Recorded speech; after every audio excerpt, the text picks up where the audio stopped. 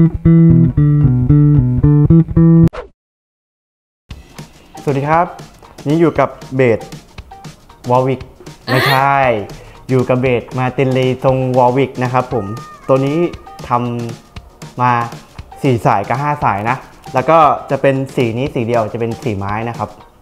ก็ 5 สายก็จะอยู่ข้างหลังผมนี่นะฮะ ดูสเปคกันบ้างครับ สเปค สเปคตัวนี้นะ body body นะครับ body ก็จะเป็นไม้แอดครับไม้แอดเคลือบด้านเลยนะ คอครับคอก็จะเป็นเมเปิลเคลือบด้านครับขาวๆสวยๆเลยนะฮะแล้วก็ fingerboard ก็จะเป็น rosewood ครับแปะด้วย rosewood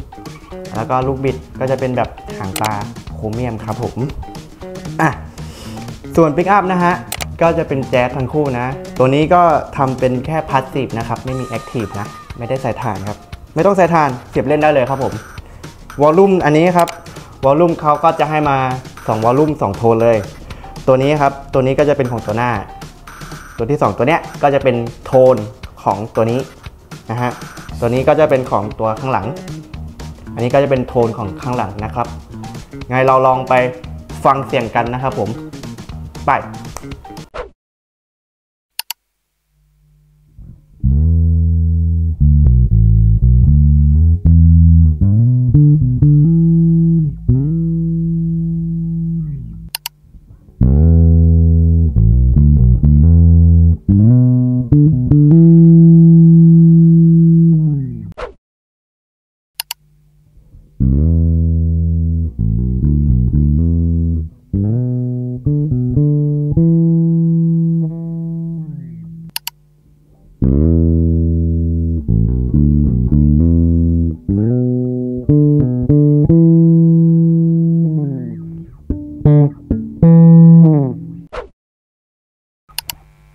เป็น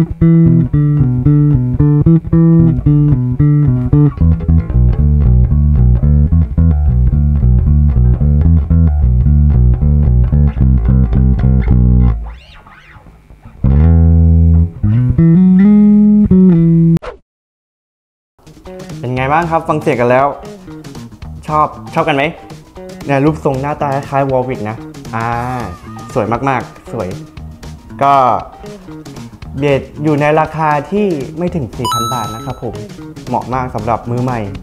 หรือว่าออกงานได้นะ ตัวนี้ออกงานจบงานได้เหมือนกันนะ อะ มีทั้งให้เลือกทั้ง 2 แบบเลยนะครับผม 4 สายกับ5สายไปเลือกใช้ไปปรับใช้กันได้นะครับ